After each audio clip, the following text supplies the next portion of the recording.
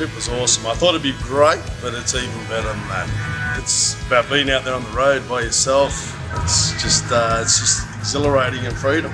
It's an awesome trip. Chicago to LA, you know, it's just a dream. I think that my best part really was driving through the desert.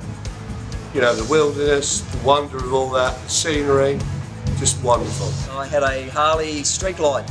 Perfect balance, uh, perfect power. Uh, didn't miss a beat. Beautiful.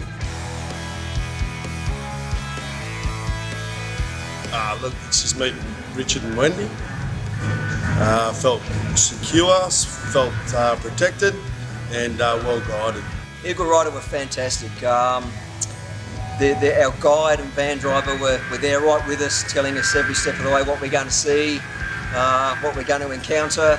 Um, very knowledgeable, um, just just fantastic. Couldn't couldn't say more.